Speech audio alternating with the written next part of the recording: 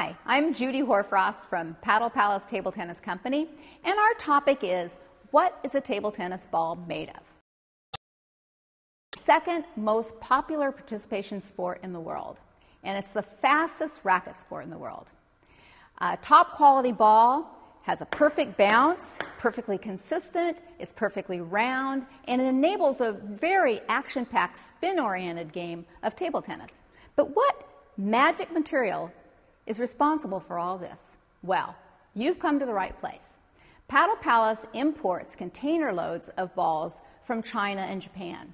So we went to our friends from Nittaku, who make the Nittaku three star premium ball, which is the uh, official ball for USA table tennis, for uh, Canada table tennis, and it's been used in 13 of the world championships since 1971.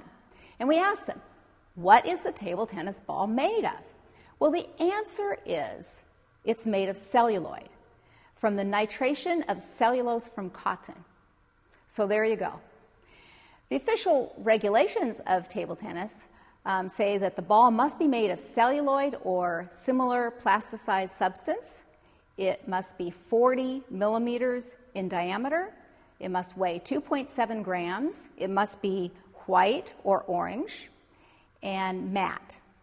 The uh, celluloid ball was invented in 1900, um, and that's when table tennis really took off. And in those days, um, lots of things were made out of cell- celluloid. There was the movie film, there was uh, billiard balls, there were fabric and corsets, um, all made from celluloid. Nowadays, um, there's uh, ping pong balls are pretty much the last remaining object. Maybe um, there's some guitar picks made with celluloid, but that's it. I often get asked, what gas is inside of a ping pong ball?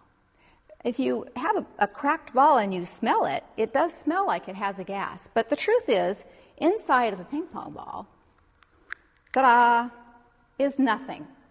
Nada. Air. There's no gas inside of a ping pong ball.